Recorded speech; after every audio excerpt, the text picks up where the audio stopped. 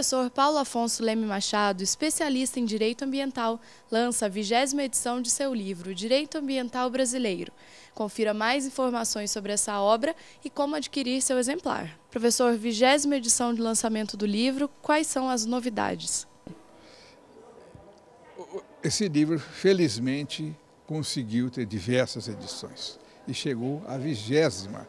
Portanto, ele surgiu em 1982 e o direito ambiental evoluiu, tanto evoluiu que deu chance de chegarmos a 20 edições com mais de mil páginas.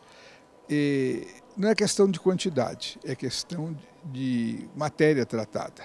E a matéria hoje, que está assim, bem em novidade nesta edição, é a questão da competência, poder de fazer, executar a legislação ambiental do, do governo federal, dos estados, dos municípios. De outro lado, estamos tratando de um direito novo como matéria, que é o direito à iluminação solar e o direito da captação solar. É mostrar como se desenvolve a vida industrial. E a última questão que eu gostaria de também levantar é é, a presença do município, como o município pode atuar, no que, que ele pode fazer, o que ele não pode, em prol do, da nossa qualidade de vida. Então, professor, a gente pode dizer que o senhor foi um visionário, porque na década de 80 não existiam livros sobre esse assunto. O livro do senhor foi o primeiro a tratar sobre direito ambiental? Fico contente que essa pergunta seja feita, porque realmente um livro desse não nasce do nada.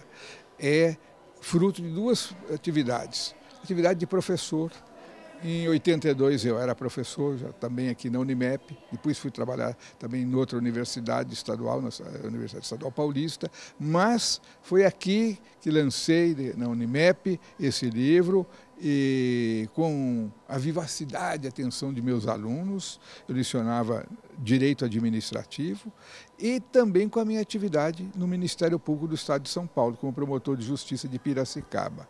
Quer dizer, tudo isso a gente foi fruto também de um grande curso é, pioneiro no Brasil, o primeiro curso internacional de direito ambiental, feito lá na Rua Boa Morte, também nas instalações da Universidade Metodista de Piracicaba. Por isso você vê, quer dizer, é o dia a dia, é claro que muitos sábados, muitos domingos, que em vez de estar se reunindo com os amigos, amigas, eh, foram reunidos com os pensamentos, estudando, eh, escrevendo, mas também comunicando eh, uma maneira de servir a comunidade através do que a gente pensa e que pode agir para mudar dentro do mundo. Professor, desde o ano 2000, 2001, todos os livros foram esgotados e tiveram tiragem máxima.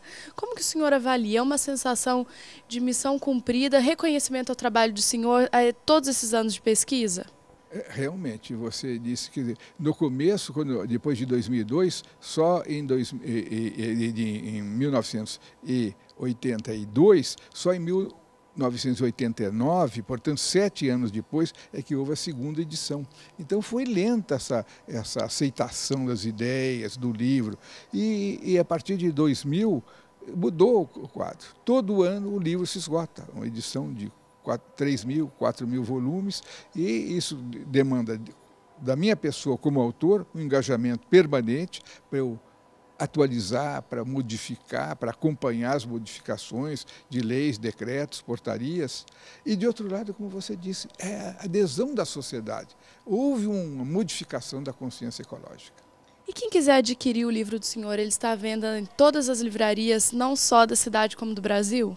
Ele está assim, nacionalmente é, é, sendo vendido, mas o importante é isto, que o livro, página por página, é meditado com amor, com consciência e com vontade de ajudar.